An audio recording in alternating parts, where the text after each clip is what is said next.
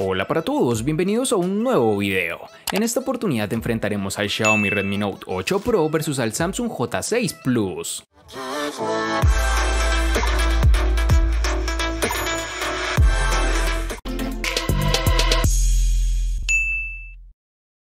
El Redmi Note 8 Pro llega con un diseño sencillo y discreto, incluso podríamos calificarlo como sobrio, o por lo menos en el caso del modelo que hemos probado nosotros. El diseño de este terminal queda marcado por el uso de cristal y Gorilla Glass 5 que le protege ante rasguños, aunque debemos reconocer que es un completo imán para las huellas, debido a las características propias de los materiales de construcción.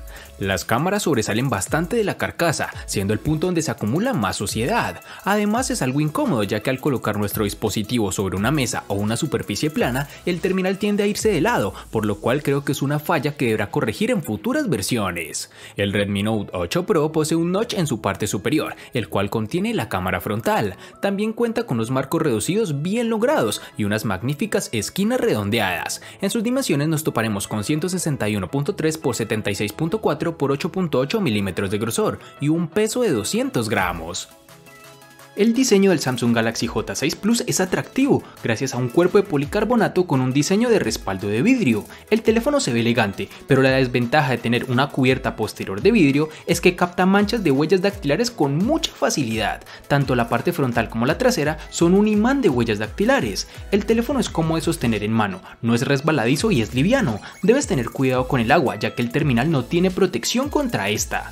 Algo que no me gustó de este dispositivo fueron sus marcos que no son tan reducidos a mi gusto, algo que lo deja muy por debajo con rivales como Huawei o Xiaomi. La ubicación de la cámara trasera y su posición son excelentes ya que se encuentran al ras de la tapa posterior, algo que ya hablaremos más adelante. En sus dimensiones nos encontraremos con 161.4 x 76.9 x 7.9 milímetros de grosor y un peso de 178 gramos.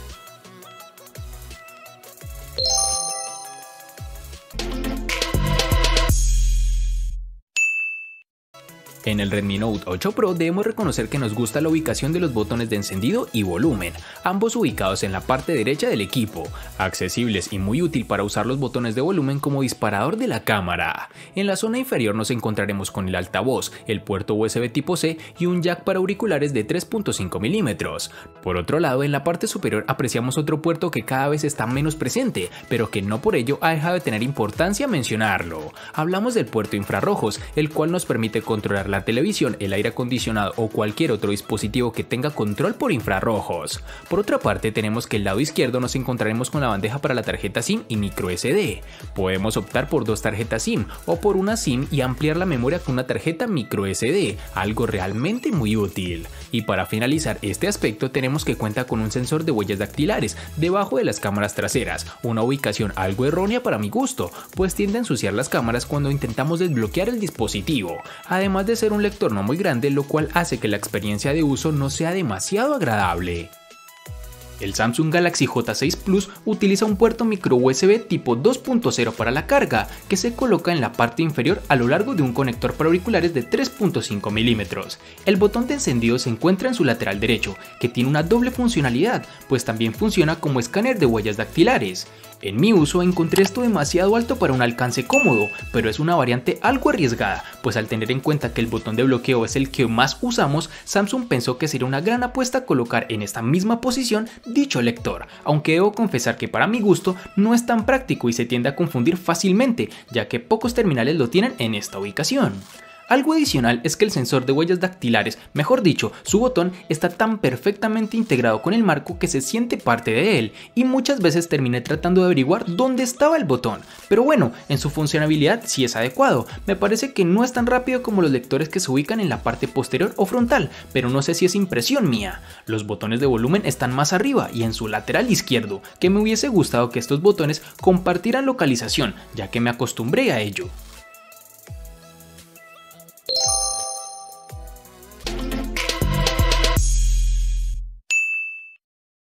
Para el Xiaomi Redmi Note 8 Pro nos toparemos con dos versiones distintas, en una tendremos 8 y en la otra 6 GB.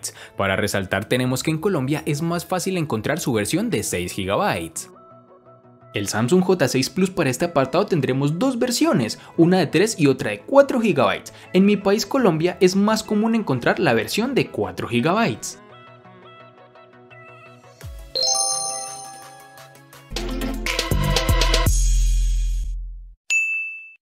En el Xiaomi Redmi Note 8 Pro, al igual que en su RAM, contaremos con dos únicas versiones de 64 y 128 GB, que pueden ser ampliadas con tarjetas microSD hasta las 256 GB. En su almacenamiento, este J6 Plus tendremos dos versiones al igual que en el apartado de RAM, una 32 y otra de 64 GB, que ya dependerá de tu país qué versión esté presente y cuál no. Esta capacidad se puede aumentar con tarjetas microSD de hasta 256 GB.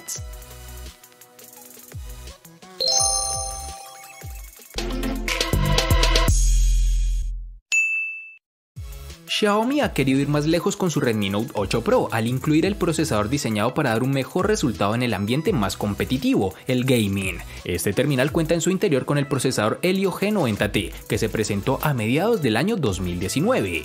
El Helio G90T está fabricado en 12 nanómetros. Este procesador MediaTek tiene 8 núcleos en su interior, divididos en dos grupos. Dos Cortex A76 cuya potencia es capaz de alcanzar las 2.05 GHz de frecuencia y otros 6 Cortex A 55 para tareas que requieren menor rendimiento. Por último, el desempeño gráfico queda a cargo de la GPU Mali G76. Durante el tiempo que lo he estado probando no he notado ninguna ralentización, no ha sufrido ningún problema ni ha dado muestras de tener lag, incluso en los momentos de mayor exigencia. Hemos podido jugar tranquilamente a juegos como PUG Mobile, con gráficos al máximo, sin duda uno de los puntos más fuertes de este terminal, aunque tiende a recalentarse un poco bajo esta configuración. Xiaomi ha elegido bien el procesador si su intención era ofrecer una buena experiencia de uso para los aficionados a los videojuegos, aunque no estoy del todo familiarizado con este tipo de procesador, me parece que realiza un buen trabajo y ni hablar del uso normal, con aplicaciones básicas el dispositivo no te presentará ningún tipo de problema.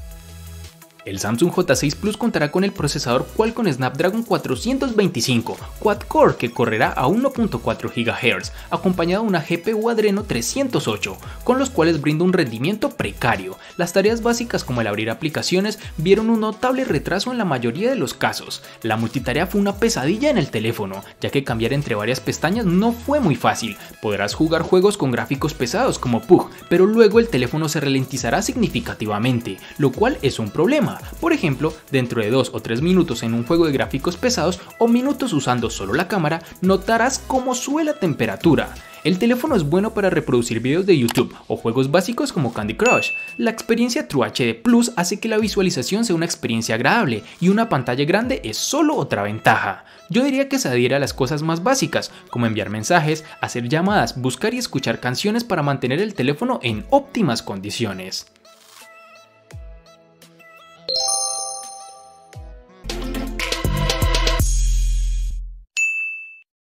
Es hora de hablar de la autonomía de este móvil. El Redmi Note 8 Pro está equipado con una batería de 4500 mAh, un componente muy habitual entre los móviles de gama media. Sin embargo, no por encontrar el mismo tipo de batería en otros móviles es una mala elección, todo lo contrario. Sus 4500 mAh ofrece varios días de autonomía. Podemos olvidarnos del cargador durante 48 horas si hacemos un uso no tan excesivo del terminal, consultar el correo de vez en cuando, navegar por las redes sociales, ver algún video o jugar algún videojuego.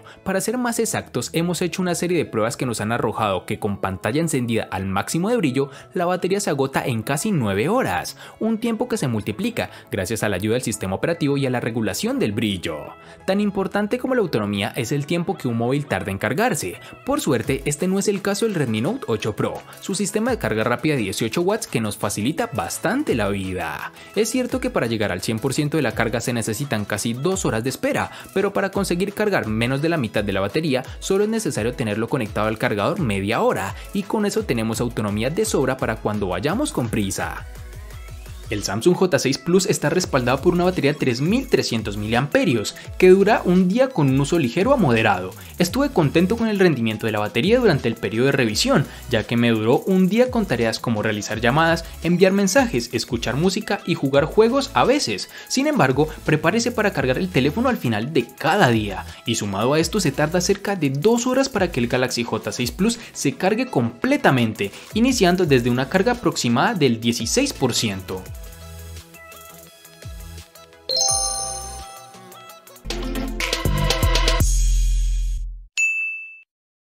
Nos centraremos ahora en la protagonista de la parte frontal, la pantalla del Redmi Note 8 Pro, que ha crecido de tamaño con respecto al modelo anterior y ahora cuenta con 6.53 pulgadas de diámetro. Rodeada de unos marcos ajustados ocupa casi todo el frontal, como ya hemos dicho antes gracias al notch. Este dispositivo cuenta con el panel LCD IPS Full HD Plus de 2340 x 1080 y una densidad de 395 píxeles. No consigue los colores que ofrecería un panel AMOLED, pero el nivel de detalle y brillo son más que suficientes por una pantalla en un móvil de gama media. Este panel tiene un buen nivel de brillo. Los días que he estado probando este terminal no he notado en ningún momento que me faltara iluminación para ver todos los detalles de la pantalla. Y es que en interiores cumple perfectamente, y si le ponemos un reto mayor saliendo a la calle en un día soleado, cuenta con una configuración especial que aumenta un poco más el brillo de la pantalla de manera automática para compensar ese exceso de luz. El Samsung Galaxy J6 Plus obtiene una pantalla tipo LCD con una resolución HD Plus Infinity de 6 pulgadas con una relación de aspecto de 18.9 a 5.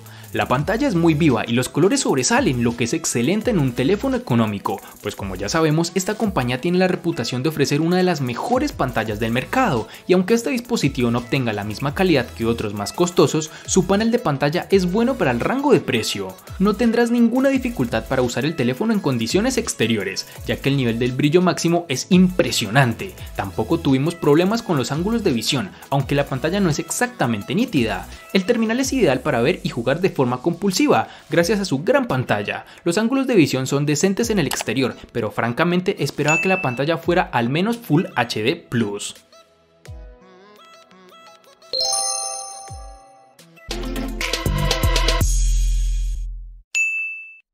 Justo en el centro de la parte trasera del Redmi Note 8 Pro se encuentran ni una ni dos, sino cuatro cámaras con las que la marca ha querido reforzar este terminal. Dentro de este cuarteto destaca un sensor principal de 64 megapíxeles de resolución. Estamos hablando de un sensor de Samsung con apertura focal 1.89 y tecnología Pixel Binning, es decir que agrupa 4 píxeles en uno, lo que implica que en realidad consigamos fotografías de 16 megapíxeles pero con mayor luz. Acompañando el sensor principal está un segundo ultraangular de 120 grados de campo de visión, un tercer sensor de 2 megapíxeles encargado de medir la profundidad y por último un sensor de 2 megapíxeles para fotografía macro, que nos ha permitido disparar con enfoque automático a solo 2 centímetros de distancia.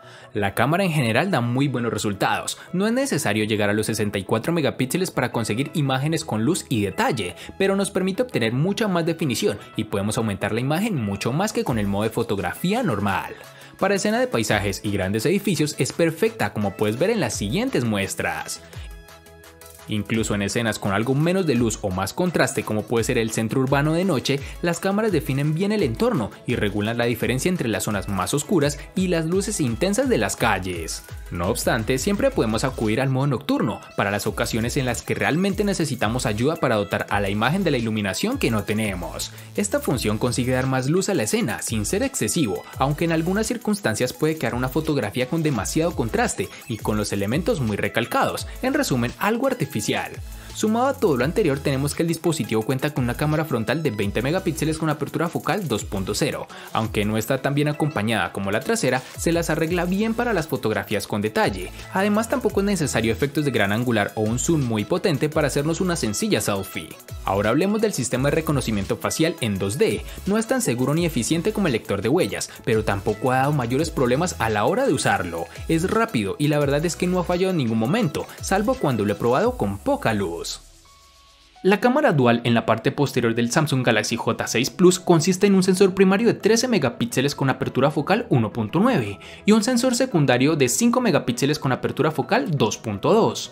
En la parte delantera obtienes un sensor de cámara de 8 megapíxeles con apertura focal 1.9 para hacer selfies. En la aplicación de la cámara predeterminada tienes la opción de hacer clic en las imágenes en modo belleza, modo panorama, toma continua y con stickers. También está el modo Live Focus, que esencialmente le permitirá tomar fotos con el modo Book y ajustar el desenfoque del fondo incluso después de tomar la imagen.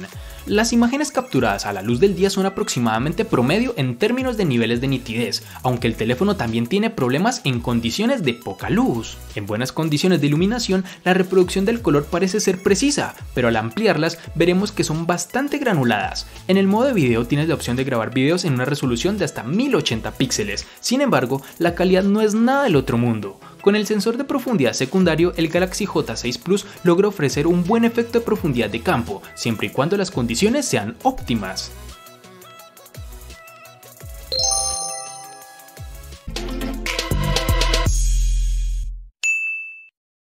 El costo de estos dos espectaculares smartphones es el siguiente. Para el Xiaomi Redmi Note 8 Pro es de 800 mil pesos colombianos, que equivalen a 4.500 pesos mexicanos, que a su vez son 237 dólares, que equivalen a 213 euros. Para el Samsung J6 Plus es de 580 mil pesos colombianos, que equivalen a 3.223 pesos mexicanos, que a su vez son 167 dólares, que equivalen a 151 euros. Vale aclarar que son divisas con relación al precio del dispositivo en Colombia y en la fecha del video.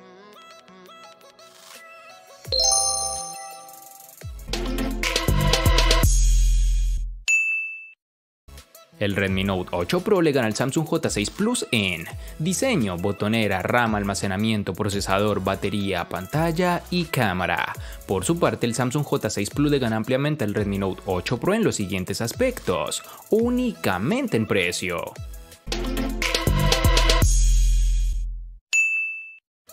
De este enfrentamiento no hay mucho que decir, pues fue evidente quién resulta ser el ganador de esta batalla, pero sí lo vamos a sumar a la sección de los enfrentamientos inútiles pero muy útiles, una sección de mi canal solo apta para personas curiosas.